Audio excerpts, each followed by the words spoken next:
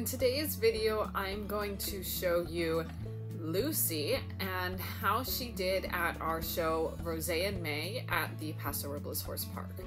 So I took Lucy and did the ticketed crossrail warm-up classes. Um, I guess not really classes, like practice rounds basically. And I used that to give her a little show experience. So in the past, the issue I've had with Lucy is that the whole show environment kind of sends her off her rocker. She gets really stressed out, she starts having panic attacks, and she can't focus on what I'm asking her to do because she's just so, so worried. So, going to Paso, my main goal was to be able to have her relaxed and confident enough that I could take her in the warm up ring and school her. And then my secondary goal, if that went well, was to go ahead and do the crossrail classes and just get her an experience going into the show ring, jumping a course, and give her an idea of what showing is all about. So let me go ahead and jump right into showing you a few clips of our warm up on the first day, and then I'll show you our first our round on the first day, and then a little bit of warm up the second day and around the second day, and kind of talk you through what was going on, how I approached it, what I want to work on, and um, yeah, so let's jump right in. All right, so in this warm up, you can see that Lucy is very tense. Here she decides to pick up this little canter because I think the horse behind her got her a little worked up. Um, I'm riding her pretty short because if I give her too much space, she'll just completely spiral out of control.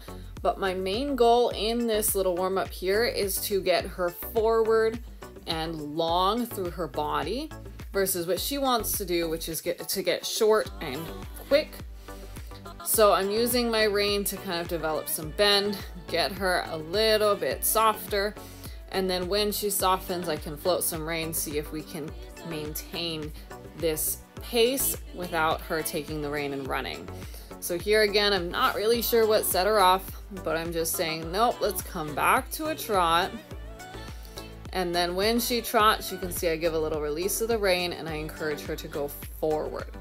So that forward into the hand is so, so important and what we've been struggling a lot with with her, especially when she gets tense. So here I kind of abandoned that forward into the hand and just brought her back to a walk because I think this bonnet is kind of pissing her off a little bit. Um, so it does take me this entire time to get her to walk. And then I went ahead and asked um, for someone to help me take this bonnet off of her. Since I think when it flipped up, it was just making her more pissy. I used that little turn there to help get her get her quieted and back to the walk. So once the bonnet's off, I think I did a little more trot warm up and then I went ahead and did some canter.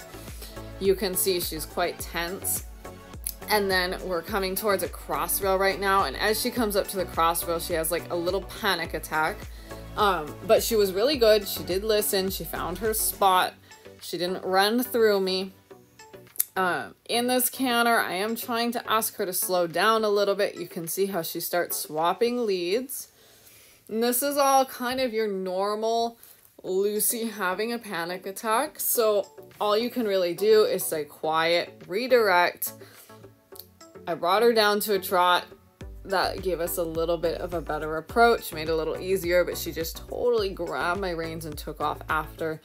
So again, I wanted to bring her back there's a really fine boundary with Lucy of setting boundaries while also allowing her enough space to have relaxation. If you take too much and put her in a box, she has a complete meltdown, but letting her take over gives her more anxiety. So really keeping her as relaxed as possible is the challenge and figuring out how much you need to do to get that and how much not to. So these crossrails she's really wanting to bomb off of after. So my goal right there was to just tell her like, look, you need to stop after the fences. And we didn't really get anywhere in the warm up. I kind of just said, screw it, let's go into our class and see if things get any better. And so that's what we did. I got no love for the fakeness. If you wanna play tough and wanna hate this, I'll always show up. I don't ever slow up, no I don't take sh I got no love for the fakeness. If you wanna play tough and wanna hate this I'll always show up and make a statement. I don't ever slow up, no I don't take sh I got no love for the fakeness. If you wanna play tough and wanna hate this I'll always show up I do so instinctive and so passionate. Every word I move so descriptive like an adjective. I got a vendetta against people who patented Being negative when you should be getting after it I got facts over facts over tracks, this and that. Spitting slow, spitting fast, I could roast, I could gas Think I'm okay at last, but I don't know if that can erase all the past And the pettiness, a reflection of the emptiness. Hilarious, you think you're with my time, you're delirious. Mysterious, because you hide behind a fake exterior. Inferior, you know I'll always be a bit superior. Get off of me, this ain't no humble brag. I want you to hear words, you can say them back. I want you to feel free from the chains that last. And to believe in what you got, it was built to last, yeah now that I've been put through I never got anyone's help. I had to do it all myself. I don't ever slow up, no I don't take sh I got no love for the fakeness. If you wanna play tough and wanna hate this I'll always show up and make a statement. I don't ever slow up, no I don't take sh I got no love for the fakeness. If you wanna play tough and wanna hate this I'll always show up and make a statement confidence, dreams into modestness I'm not here to save the day, that's for you to take away. I could play a million mind games, but instead I say Something not illogical, something that is topical. Alright, so the takeaway from that course is that I had way more control than I expected to have, which is probably surprising watching it, but if you know Lucy and you've seen how jumping her was even a month ago, um, you would understand. I was very happy with the level of control I had. I was able to get straight to all my fences and I was able to get all of my distances to my fences. And that is a big win for Lucy. Ultimately, I'm going to be competing her in the jumper ring. I don't need her super slow and steady, but I do need her organized enough and rideable enough that we can get to our fences. So that was kind of the headspace I was coming from, teaching her to listen enough that she can stay organized. The biggest critiques I have of that course was she was so, so very tense going into the arena and then I kind of started off okay with some sort of control and a little bit of a nice, nicer, steadier pace. But by the end of the course, we were getting faster and faster. She started scrambling in her corners, which is what she does when she's too tense to organize her feet. Um, so in that sense, I wasn't too happy with the end of the course compared to the beginning. But the fact that she went out there and she was game to do all the fences, I am so, so stoked with. I've had a lot of problems with Lucy being worried about the jumps, not wanting to go over them, trying to stop, refuse, run out, bolt them, etc. So throughout that course, I never once felt from her that she was thinking, I can't do that fence. I was just feeling she was a little anxious about it and thinking she wanted to get over go, get over it faster. So I'm very, very pleased with that. Um, for where we are, I think it was a really big win.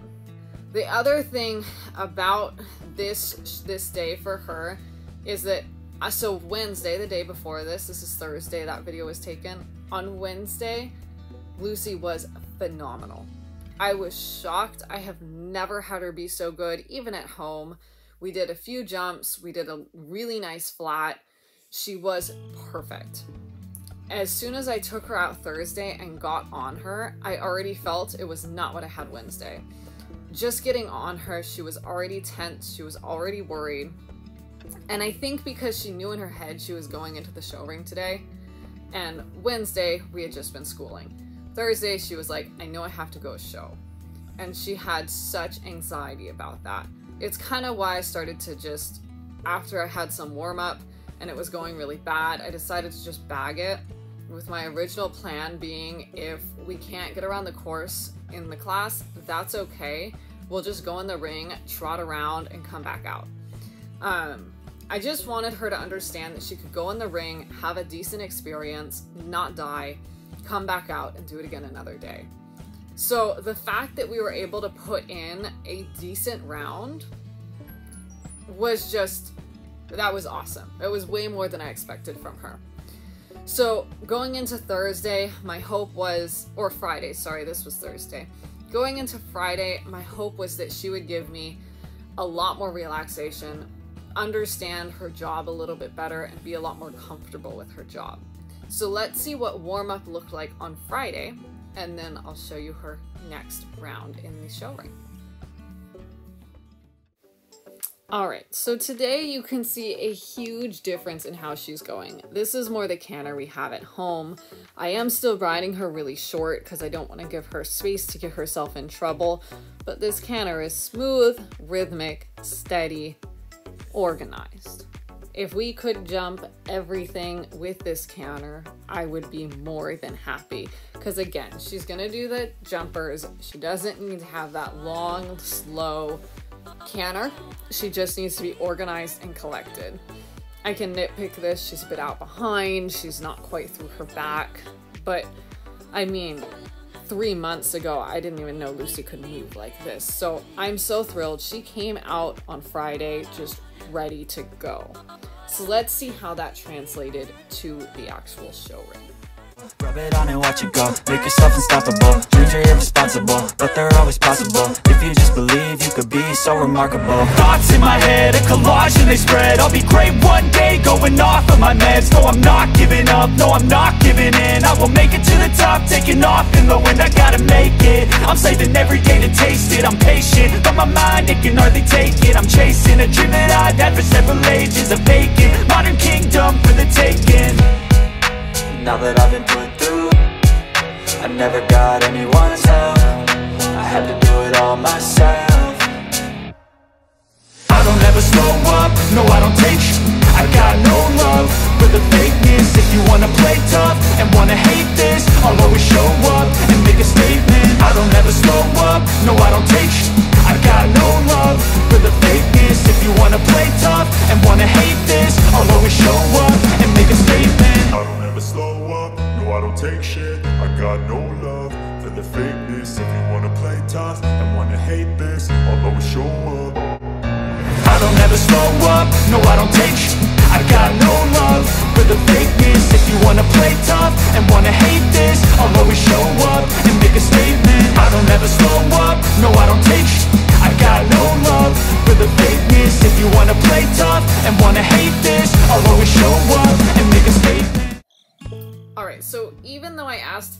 spot and Lucy kind of became unhinged after that, I am really, really happy with that line. I should have known the long spot was a bad choice. Um, when I was on, so the reason I went for that little bit long spot, I know it wasn't even that long, but you could see the effect on her. Um, the reason I did that is because I felt like in that green diagonal before that last line, I had really held her, got her a little bit chippy and almost sucked back through the line, like a little bit behind the pace I'd ideally like.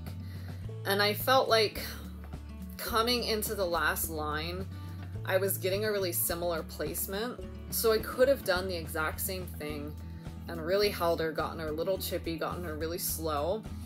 But I kind of felt like I was holding her too much and I needed to find a place I could let her go. So that's why I went for the long spot.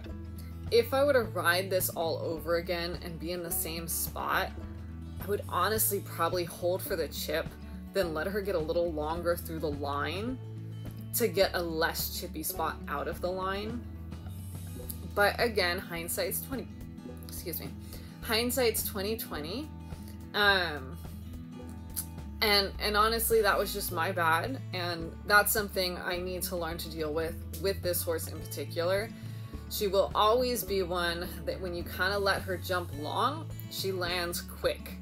So there are times when that can be useful, and I think there's going to be a time where I can let her jump long, gallop out of it, and be able to bring her back in time to make a corner or something.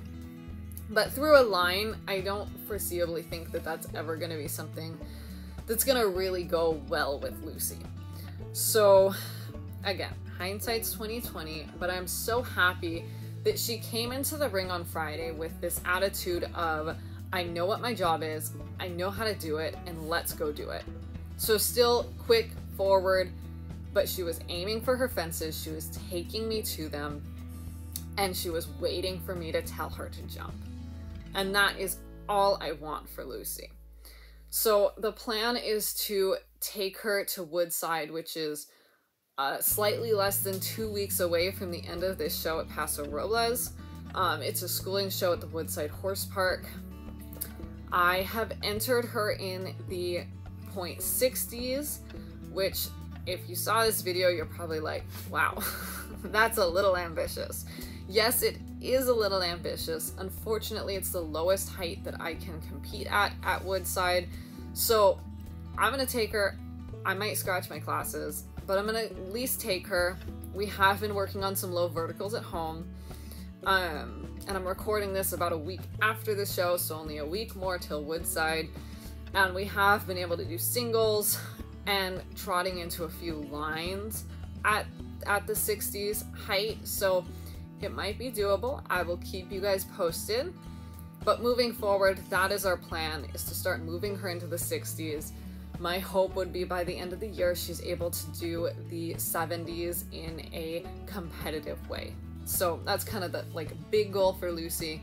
The immediate goal, I want to try to get her in the 60s at Woodside, two weeks from this show that we just did. But I'm not going to push her. I'm not going to take her in the ring to create a horrible experience. So if we get to Woodside and I'm not feeling like she's ready, or even we get in the warm up and I feel like I can't do this with her, I, I will scratch. I have no problem scratching. So we'll just kind of see what happens.